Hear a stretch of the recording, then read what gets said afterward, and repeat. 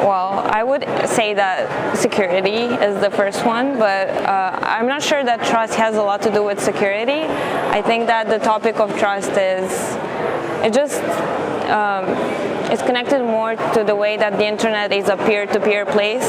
That means that we create it, we're a part of it, and so on and so forth. So if people don't trust each other or don't treat each other well. That's why there's not enough trust on the internet. In terms of cybersecurity, I'm not sure if I can address it from, you know, from a technical point of view as much as a policy point of view, but there's a lot of progress on that. Uh, more so regionally and per country rather than globally. So we'll see, I don't know.